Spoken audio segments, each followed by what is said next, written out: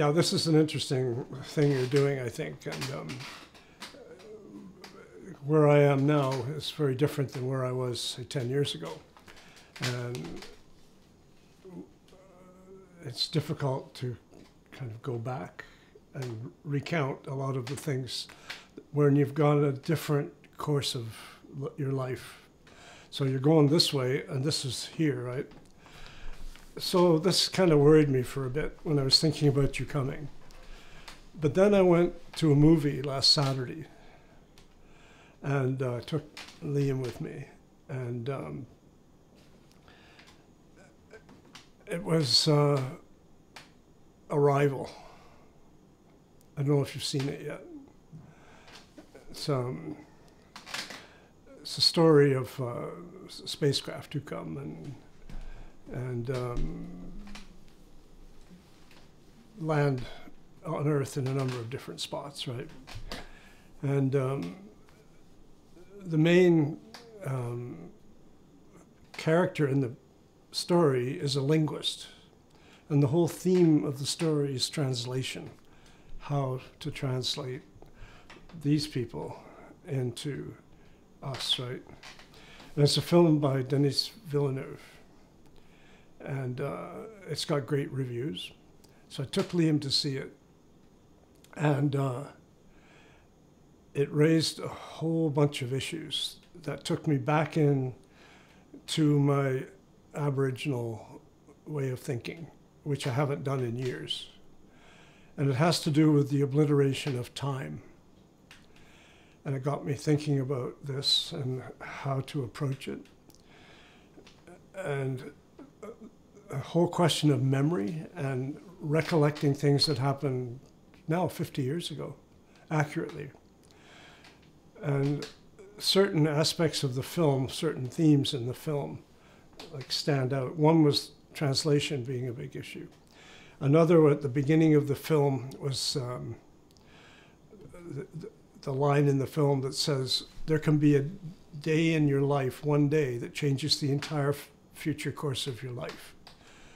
And that brought me back to the death of my son, changed everything. And and then there was aspects of uh, misunderstanding and the consequences of misunderstanding another culture in the sense that the, these aliens would come in and things like that. So a whole lot of things started to go through my mind.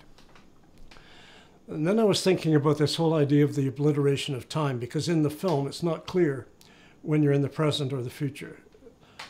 The, the linguist is uh, having visions, but you're not sure if they're visions of the future or she's remembering the past. It's not really about time travel, it's about more about visions. So she has a vision of losing a child, and you think in the film that it happened already. Turned out it hadn't happened yet, it's in the future. So I got to thinking about my experiences with the Aborigines, and one person in particular, a guy called Naugula Ben Alalara, which who was my elder brother uh, in in the culture, and he died in the early uh, early 2000s. And I was thinking, what does this mean, obliteration of time? What did it mean to the Aboriginal people, and how did it how does it work, right? Well, if you think yourself right now, and you think about back when you came in the door you can interpret that as you came in the door, you, you talked, you sat down, and you began to interview. What you've done then is you've imposed time on what is actually a continual present. So that all we really experience in life is a continual present right through from beginning to end. And if you think in your mind, your consciousness is that continual present. It's always the same. And it's right, it's a constant. So in a sense, there's no past, there's no future. There's just this continual present that keeps going. Well, in the Aboriginal world, That continual present just keeps going after you die. It doesn't disappear. So the continual present just goes into another dimension. It doesn't stop. Your body stops. Everything around you, these things here disintegrate. Eventually they wear out. But this continuing present keeps going into another dimension, and you're there, but you're in a different form. And then I think, well, okay, if, if that's the case, say they're, they're, this is true, right? Can you access that continuing present that you've already experienced again? And can you access this continuing present which is to come? Because if it's a continuing present, there is no future of it and there's no past of it. It's just continuing now, right? And that brought me to Gula. And it brought me to how am I going to remember accurately things that happened in my life 50 years ago, 70 years ago.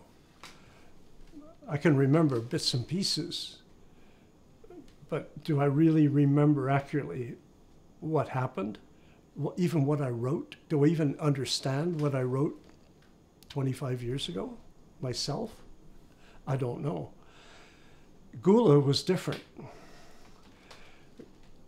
Gula,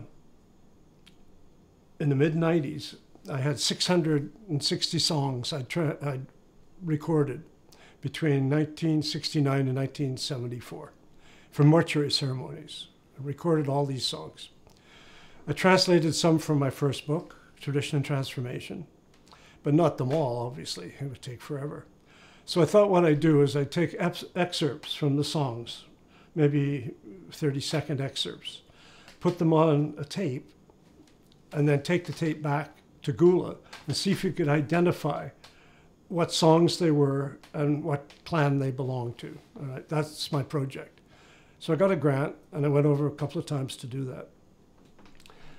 I was thinking, okay, you just sit down with the guy and you play it. And he says, yeah, that's the Stingray song and uh, blah, blah, blah. And you record it and off you go.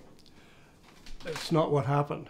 What happened was I would go over to his camp, a place called, it's on Bickerton Island, which is adjacent to Groote Island in the Northern Territory. And Groote Island is a very big island, and Bickerton's a small island beside it. He camps out there, he camped out there to be away from the troubles on the big island because there was mining going on there was drinking and social problems, right?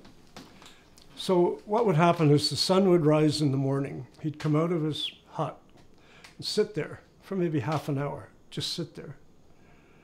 And he had instructions that no one was to come around when we were doing what we're doing, right?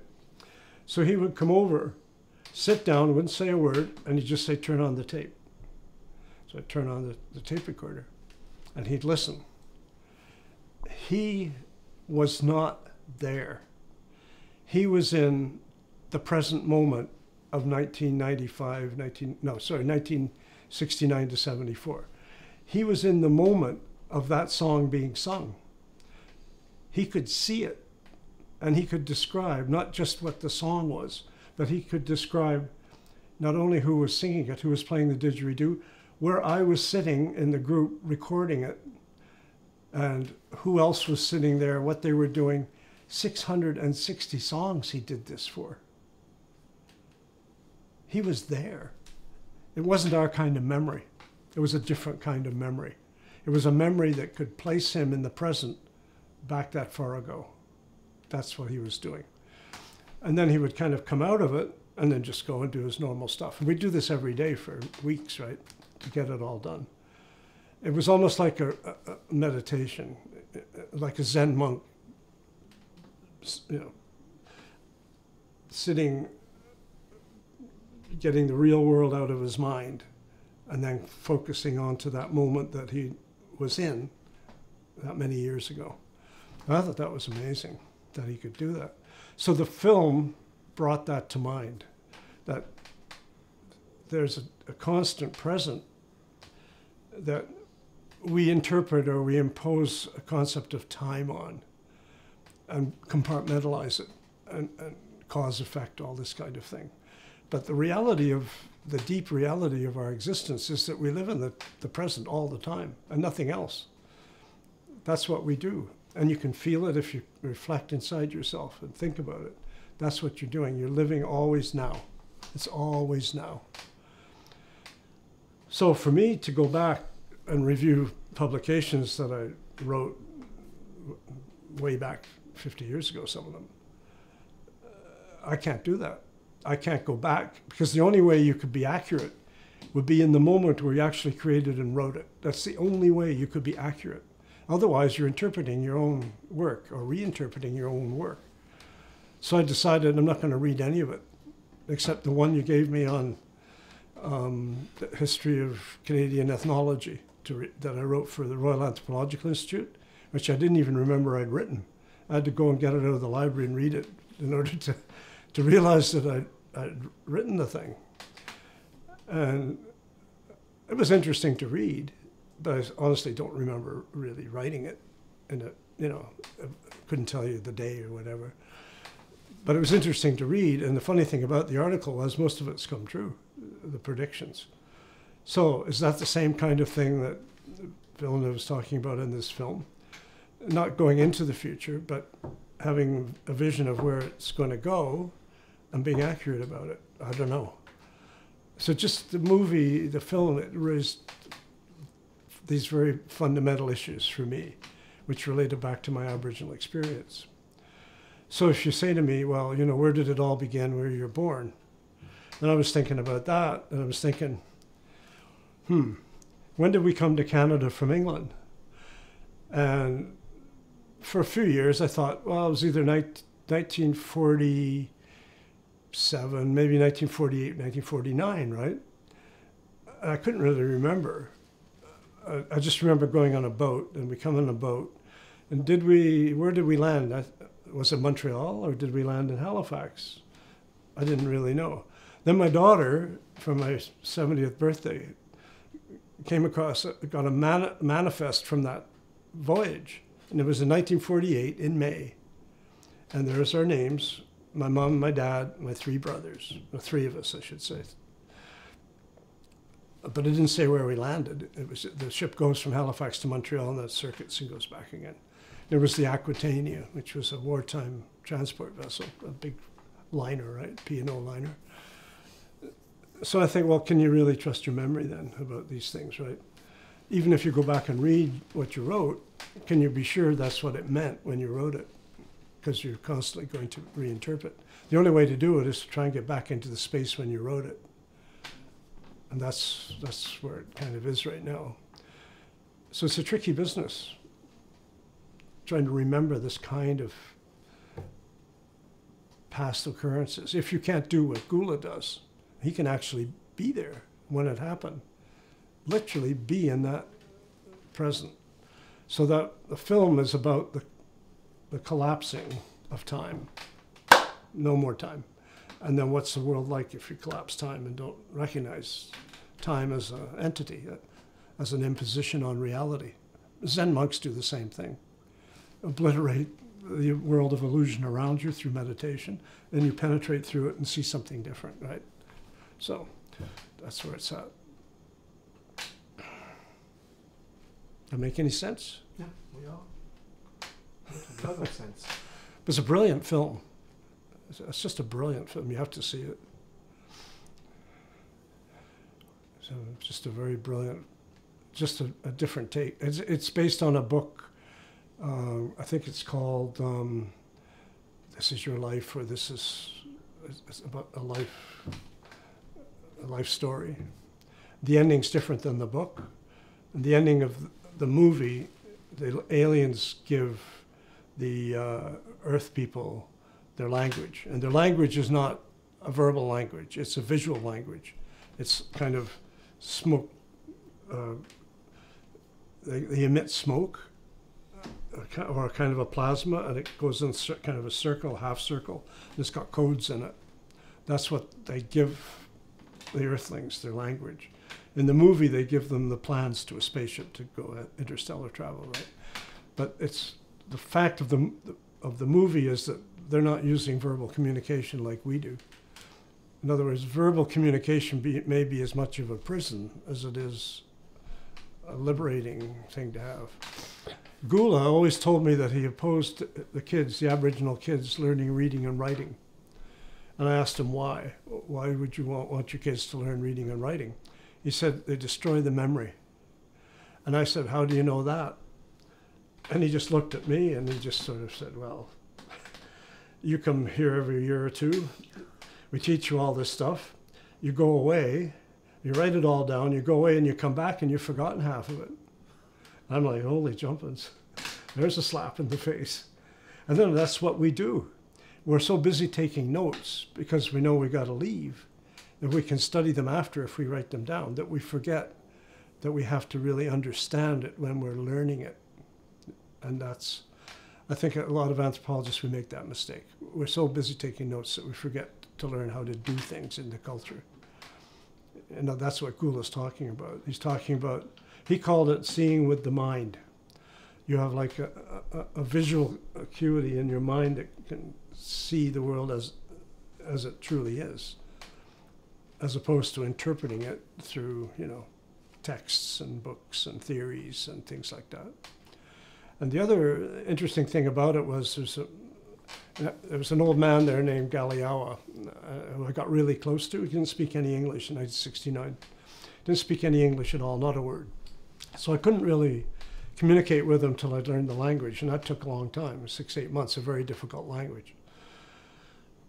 But when I did get enough fluency in the language to communicate with this old guy, I mean, he was in his 80s and he was born in the bush and didn't know anything much about white people at all.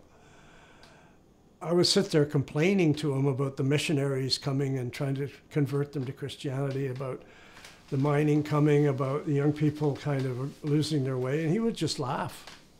He would laugh and chuckle. He had this amazing chuckle, like deep down, and you know, chuckle. And I was like, and he just said, "It doesn't matter. I already know basically what's going to happen. It, it doesn't really. It's just going to happen this way." and you don't it's not about our culture it's about someone like you comes along and you learn things and you can also apply these same things where you're going it's not our culture is located here and we practice it here and that's got boundaries we teach you some stuff and you go away with that stuff and you apply it where you're going right that was his attitude so was he seeing the future or was he just I don't know. Well, he was being nice, right? He was being complimentary that you can learn what we know and we can teach you and you can go away and do it. Well, you try and practice here what they practice there. It's really very, very difficult. The whole, the whole way of life is predicated on different premises than ours, and it took me 20 years before I figured it out. 20 years. So the first works that I did were, by most standards, pretty good especially the first one, Tradition and Transformation, the one you mentioned. But they weren't really what it was all about. And that didn't come until 1980, around 1988, I guess, around there, 86 to 88, when I went back again. I went back a number of times, this one was special. And um, essentially, I learned that I've been studying backward, upside down I was studying from the ground up, where their culture was constructed from the heavens down. It was, it wasn't um, a political superstructure that was determining, you know, social organization, social structure, behavior. It was a spiritual one. But I didn't know that until I had accessed that spiritual side myself.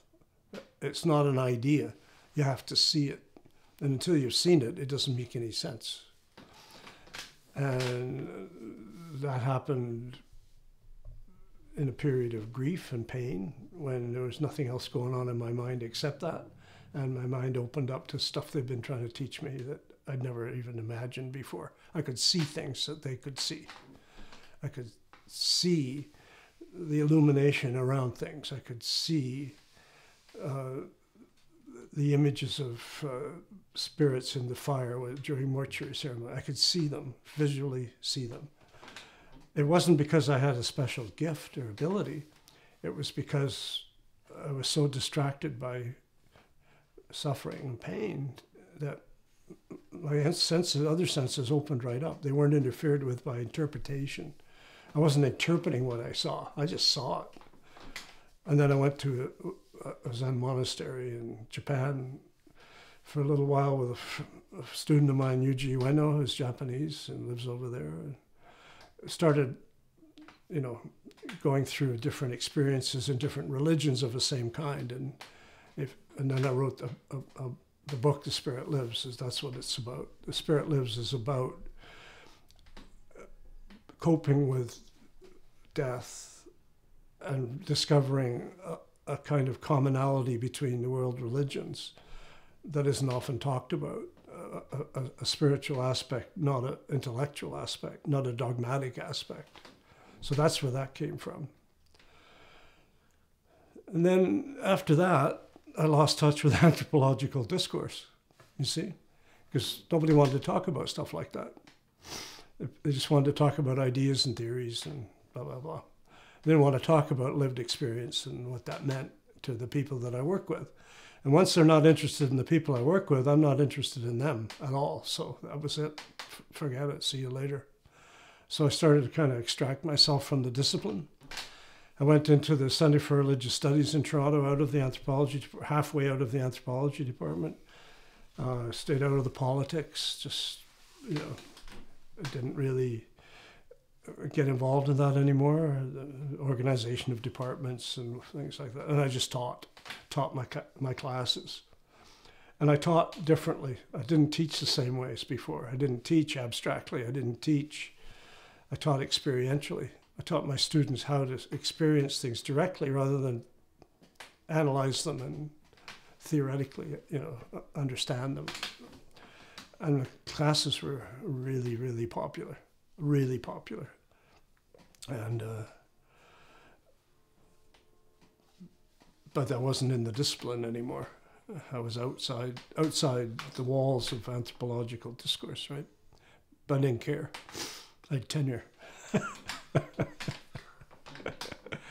and that's a part of it. Eh? Like that's what we're there for. You're given this protection so that you can explore different things that other people might not find acceptable, and having the freedom to do that is a real privilege. Uh, and that's more important than being part of a discipline. It's being able to explore outside your discipline if you have to, and go places that other people don't go. I think so. Anyway.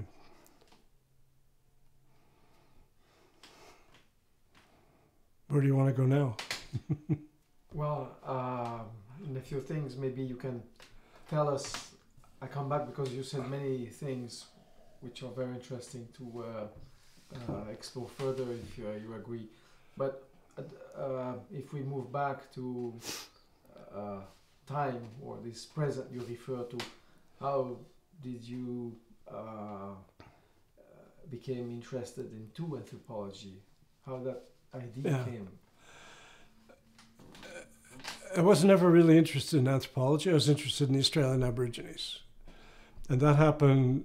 Um, my parents came over after the war from England, settled first in southern Ontario for just for a few months, and then came here to Perth. My father ran the newspaper here, so I was brought up here, and uh, went to high school.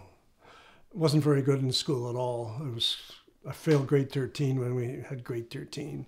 Spent two years in grade 13, and my dad was going to haul me out and put me in the back shop of the Perth Courier. And one of the guidance counselors told him not to, to, to leave me in school. And then they passed a rule in school that you couldn't play football and basketball unless you got your grades up the previous term.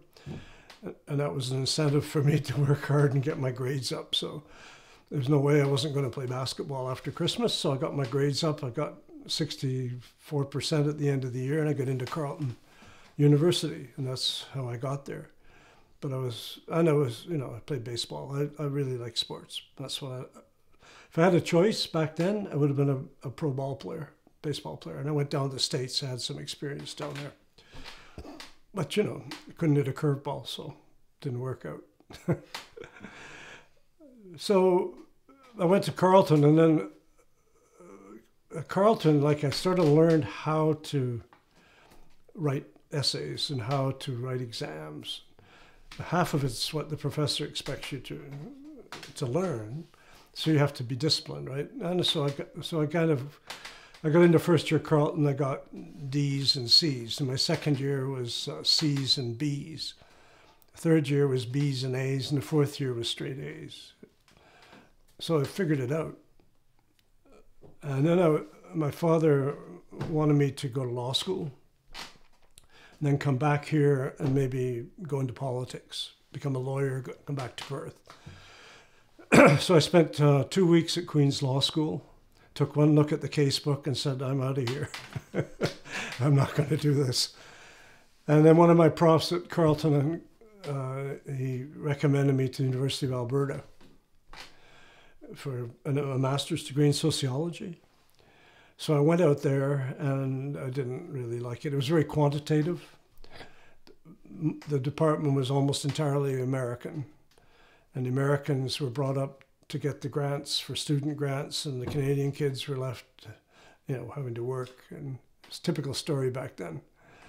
Uh, so uh, I quit and got interested in making films because I've always thought I think more visually than verbally sometimes. Like I just like visual things, as you can see. and so I went to the National Film Board in Winnipeg and to see if it was possible to study there or do something there. And they sent me off to England to the London School of Film Technique in Covent Garden, which eventually joined with the National Film School. So while I was there, I ran into um, a student from the University of Alberta who was doing his PhD in philosophy at the University of London. And I was I got married in 1967, so my wife and I were there in London, and so we went to this party. I got a grad student party, so I went to this party, and everybody was talking about this French anthropologist named Claude Lévi-Strauss and a new wave of theoretical things called structuralism so everybody's saying you've got to read this guy. You know, it's just being translated into English by Rodney Needham for the most part. So I went out and I picked up uh, a couple of books and uh, reading about different logics in different cultures. I came across Australian Aborigines, who Lévi-Strauss thought were one of the most difficult people on earth to understand. And so I thought, oh, this is interesting, right? So I went out to the Australia High Commission and I got a couple of books from the library on the Aborigines and read them. And they didn't make any sense to me at all. Like it, it, it, they're supposed to be understandable, but they didn't make sense. There was something about them that didn't make sense, and yet it was appealing, right? There was something about it. One of those things like, if these are the experts and they haven't got it right, maybe I should try and get it right myself. And that's what I did. So my wife and I went to the Australian High Commission and applied for assisted passage migrants. And we went out to Australia for 10 pounds, a three week cruise uh, via South Africa to Perth in West Australia. And before that, I'd gone to the University of London to see if they could take me in. And it was during the devaluation of the uh, British pound, a serious devaluation. And Phyllis Kaberry was the chair, and she had worked with Aboriginal women in Australia. And she said they could take me in as a student, but couldn't fund me to go to Australia. So she would write to these people in Perth, in West Australia, Ronald and Catherine Berndt, and if you know I could apply there. So that's what happened. And they wrote back and said uh, if I could get myself out there, I could go into the master's preliminary because didn't have a master's degree. I just had my BA, master's preliminary program, and then go from there.